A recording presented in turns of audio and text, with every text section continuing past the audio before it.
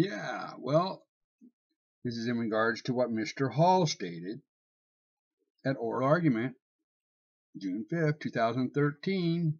He also lied to the Idaho Supreme Court along with Miss San, uh, uh, Miss Rachel O'Barr for the firm of Anderson, Julian Hull. Mr. Hull stated to the Idaho Supreme Court that supposedly they have records stating that, you know, I was released to, you know, a couple hours a day, uh, I mean, a couple hours a day, a few days a week.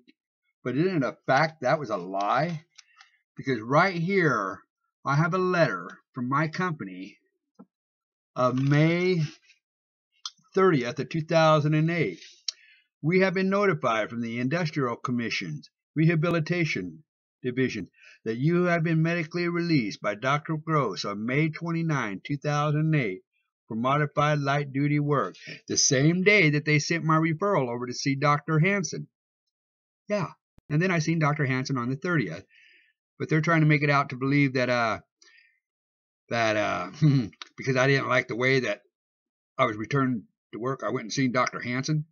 That's a lie. We are pleased to offer you a return to work full-time position started June 30th, 2008. Your duties were modified for light one-handed accommodation work. If you intend to return to work, you may start Tuesday, June of 28th at 7 a.m. That means uh, I've been returned to full time. That's uh, uh, 10 hours a day, four to five days a week.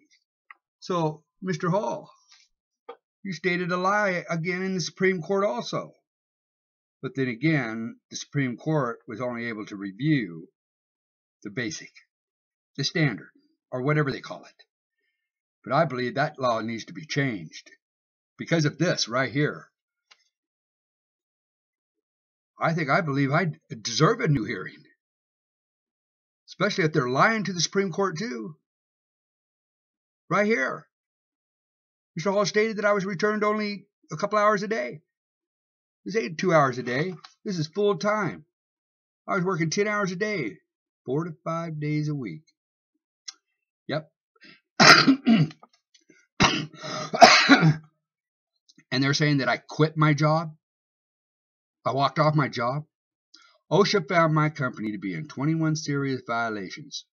Also fined them for 15 of them. And one of them was where I was working at.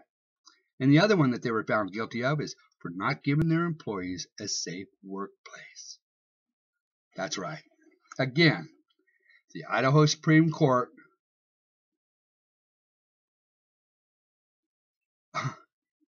affirmed the Commission's findings.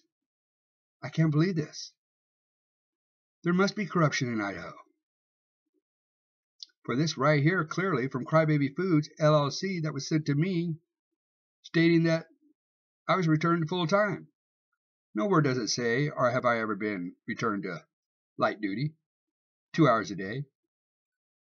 Again, if there are documents in there, they're fraudulent documents.